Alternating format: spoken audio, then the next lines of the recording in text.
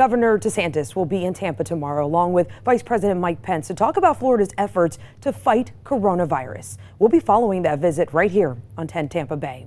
Now, let's get you caught up with the latest numbers. The Florida Health Department is reporting 6,563 new cases since yesterday. That brings the total number to almost 159,000. And in the last 24 hours, another 46 people in Florida died from the coronavirus.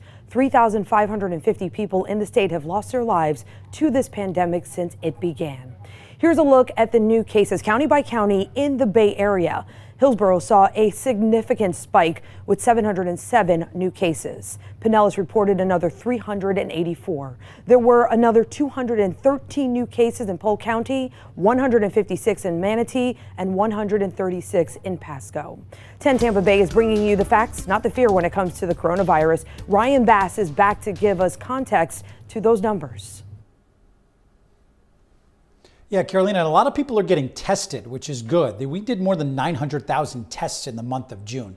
However, the percentage of them coming back last month that were positive, it's skyrocketed. Just keep this in mind. Since June 15th, Florida was over 11% positive. We were around 4% in May before reopening, and that is a large, large change. It's why this chart that we're about to show you looks the way it does. We've been tracking it since April, and that has been jumping this last couple of weeks. 45,366 people were tested yesterday. 15% of them came back positive. And the experts agree, including the WHO, that number has to be around 5% before we can get this spread under control. And the reason we want to flatten that curve is to keep our medical system in good shape. And in Florida, we're starting to see an uptick in those hospitalizations, including here in Tampa Bay. Now, keep in mind, the numbers that I'm about to show you, they count all ICU bed use, not just COVID 19 patients. The state doesn't give us the specific coronavirus patients information by hospital. Now, let's go through our 10 counties here because these are what the Agency for Healthcare Administration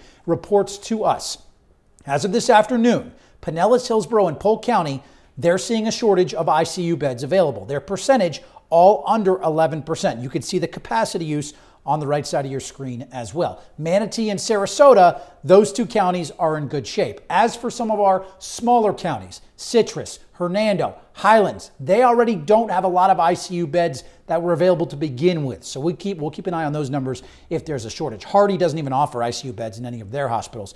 Pasco County, though, that's where the concern is right now. You see that percentage is under 4%. And Carolina, they are working on plans to make sure that they can handle a surge in new patients. Yeah, and Ryan, listen to this. In the last 24 hours, Pasco has had between two and five ICU beds open. That is out of a total of 127.